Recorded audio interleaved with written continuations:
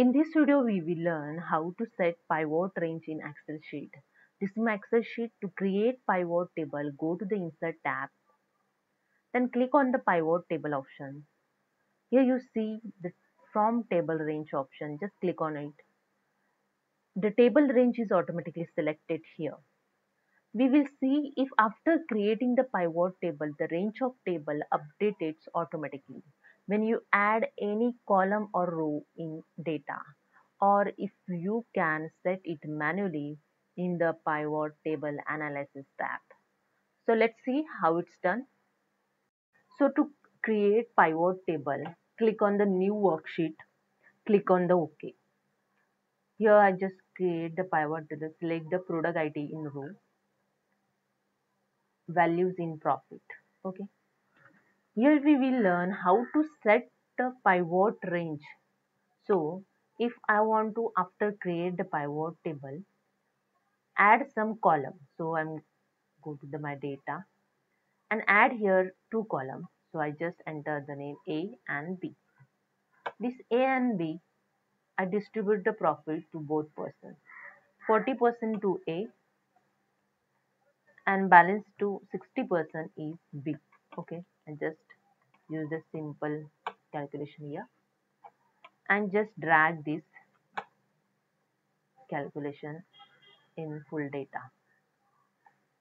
Okay, now I want to add this column also in my pivot table.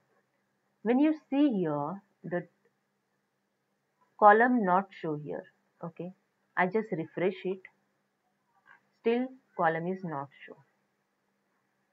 For adding the extra column in your pivot table fields, so go to the pivot table analysis in data group, click on the change data source.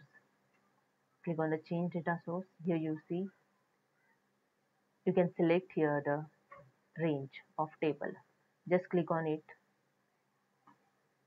okay click on it to remove this range first and click uh, select the range of your table full table. Click again click on ok. Now just refresh it.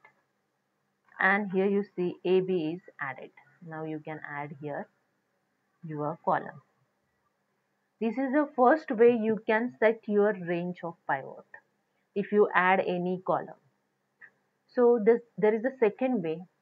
Instead of add your column in data after the table finished means last from last column al instead of adding from last table after the last column you can add your column in between the table.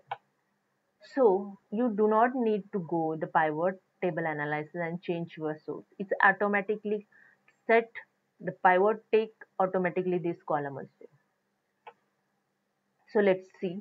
I just add here one column and here I add second one. Okay. I just give them name A G and H. Okay. Now I just see in pivot table G. Not show here because I'm not refresh it so I just refresh this pivot table now see G and H show here because why this show here and not show in AB? GH and H column I added in between the pivot table range. If I added any column after the pivot table range is from the last column, so this column is not taken by pivot range not taken by automatically by pivot range. If you create any column in between the table, then pivot take automatically this range.